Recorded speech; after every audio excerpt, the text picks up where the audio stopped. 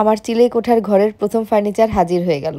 আমাদের বাড়ির ছাদের ফ্ল্যাটটা তো এখন পুরোপুরি ফাঁকা, তো এটাকে আমি একবারে সাজাতে গুছাতে পারব না। আস্তে আস্তে একটু একটু করে সাজিয়ে গুছিয়ে নিব। ঢুকতে যে রুমটা, এই রুমটার মধ্যে হচ্ছে কিচেন সেট আপ রাখব পরবর্তীতে। আসলে এই ছাদের রুমে তো কিচেন সেট দরকার নাই, কিন্তু পরবর্তীতে আমার মনে হয় এখানে একটা কিচেন সেট রাখা দরকার, কারণ ছাদের মধ্যে উঠে যদি আমাদের কারও কিছু খেতে ইচ্ছা করে, টুকটাক যেন চা, কফি বানিয়ে খাওয়া যায়, সেজন্য। তো এই হচ্ছে আমার রুমটা। এই রুমটা যখন সাজানো গোছানো হয়ে যাবে ফার্নিচার দিয়ে, তখন হয়তো বা মাঝে মাঝে এসে আমি এই রুমটার মধ্যেও থাকব। থাকা আসলে হবে না। আমাদের বাসায় তো আসলে রুম ফাঁকাই পড়ে থাকে। তারপরেও এই রুমটাকে আমি আমার মতো করে গুছাবো। তো এইবার একটা দোলনা নিয়ে আসছিলাম। প্রথমে ভেবেছিলাম আমাদের ঘরের কোথাও দোলনাটা সেট করব, কিন্তু আসলে ঘরের কোথাও দোলনা সেট করার জায়গা নাই।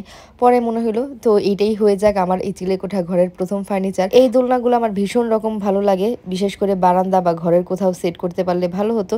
কিন্তু আমার ঘরের কোথাও সেট করার জায়গা ছিল না বিধায়ী এখানে নিয়ে এসেছি। এটা আমি নিয়েছি নুহা বেবি কালেকশন থেকে। আর এই দোলনাটা সেট করার জন্য অলরেডি লোক খবর দেওয়া হয়েছে কিন্তু এখন মনে হচ্ছে কোনো লোকের আসলে দরকারই হয় না। সাথে যা যা দিয়ে দেয় যদি উপরে লক থাকে এমনি এটা সেট করে নেওয়া যায়। আমাদের ছাদের উপরে হুক দেওয়াই আছে তো নতুন করে ড্রিল করার কোনো ঝামেলা নাই। সাথে যেই হুকগুলো দিয়ে দিয়েছে এগুলো দিয়েই জাস্ট ঝুলিয়ে দিলেই হয়ে যাবে। আর এটা অনেক ভার আমি ঝুলাতে পারব না। দোলনাটার সাথে একটা লোহার শিকল দিয়ে দেওয়া হয়েছিল দোলনাটা নিচের দিকে ঝুলানোর জন্য। তো নিচের দিকে ঝুলানোর প্রয়োজন হয়নি। সেফটি পারপাসে শিকলটা উপরে লক করে দেওয়া হয়েছে। দোলনাটা হচ্ছে হোয়াইট আর পিঙ্কের মধ্যে আমি নিয়েছিলাম। যে নেটটা, এটা হচ্ছে পিঙ্ক কালারের বালিশগুলো হচ্ছে পিঙ্ক কালারের সাথে কিন্তু ফ্লাওয়ারও দিয়ে দেওয়া হয়েছে। তো সুন্দর করে আমি ফ্লাওয়ারগুলোও ঝুলিয়ে নিচ্ছি।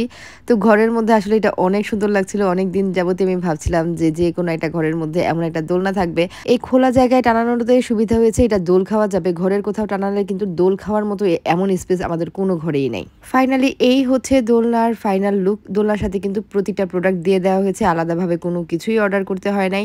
ফ্লাওয়ার থেকে শুরু করে ঝুলানোর যা যা লাগে সব কিছু দিয়ে দেওয়া হয়েছে। আর আমাদের প্রাপ্তি কুটুস দেখেন, দোলনাতে উঠে কি পরিমাণ খুশি মানে খুশিতে সে আধখানা। আর ভাইয়ের সাথে বসেছে, তাই বলে সে আরও খুশি। একা একা বসবে না, একা একা বসানোর ট্রাই করা হয়েছে, একা একা বসলে নেমে যায়। ভাইয়ের সাথে বসাতে এখন সে মজা পাচ্ছে। আর এটা কিন্তু বাচ্চাদের দোলনা না, এটা হচ্ছে বড়দের দোলনা। তো আমার মতো মানুষেরও ওয়েট অনায়াসে এটা নিতে পারবে, দুইজনও অনায়াসে বসতে পারবে। তো ঘরের প্রথম ফার্নিচার হয়ে গেল, এখন নেক্সট হচ্ছে আমি পর্দাগুলা লাগাবো। পর্দাগুলার জন্য হুক পছন্দ করতে গিয়েছিলাম, এখানে পছন্দ হচ্ছে না। তো যেখানে পছন্দ হয় সেখান থেকে কিনে নেক্সট টাইম আসার সময় নিয়ে আসব।